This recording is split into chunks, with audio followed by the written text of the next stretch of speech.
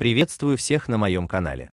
Сегодня 12 ноября стартовал четвертый этап Гран-при НХК Троуфи 2021 по фигурному катанию в Токио, Япония, который продлится по 14 ноября. Подведем итоги первого соревновательного дня. В ритм-танцах первыми стала наша пара Никита Коцалапов и Виктория Синицына с результатом 86,33 балла.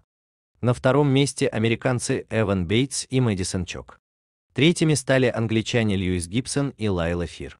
Еще одна наша пара Игорь Еременко и Софья Шевченко заняли девятое место.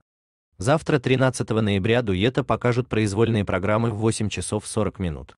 На соревнованиях спортивных пар первое место заняли также наши фигуристы Александр Галямов и Анастасия Мишина, получив высокую оценку 78,40 баллов. И второе место заняли тоже российские фигуристы Владимир Морозов и Евгения Тарасова, набрав 75,79 балла. На третьем месте оказались японцы Рюити Кихара и Рику Миура. Завтра, 13 ноября, спортивные пары исполнят произвольные программы в 6 часов 20 минут. В женских коротких программах лидером стала японка Каори Сакамото, ей присудили 76,56 балла. Второй выиграла тоже японка Мана Каваби с оценкой 73,88 балла.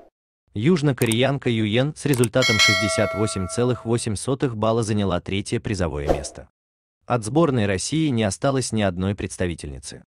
Наша единственная фигуристка на разминке перед короткой программой неудачно приземлилась и получила травму ноги. Вот это очень обидно.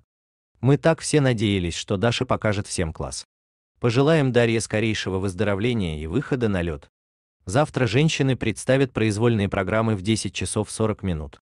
И последние выступления с короткими программами сегодня состоялись у мужчин, в которых лидировал японский фигурист Шома Уна.